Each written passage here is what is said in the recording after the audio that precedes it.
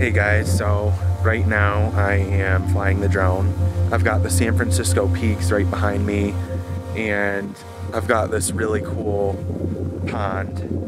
I'm just surrounded by nature. It's really incredible. Yeah, what I was doing here at this pond is I was trying to capture some basically reflections with the drone and with my camera and I think I got a few.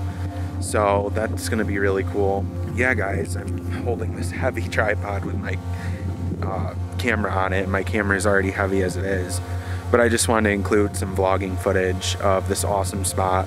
This is actually near Snowbowl Ski Resort, like very close to it.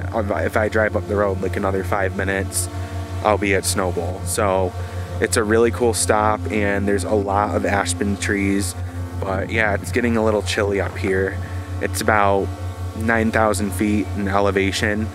So it's pretty high up in the mountains and it is definitely like 10 or 15 degrees cooler up here than it is down in Flagstaff.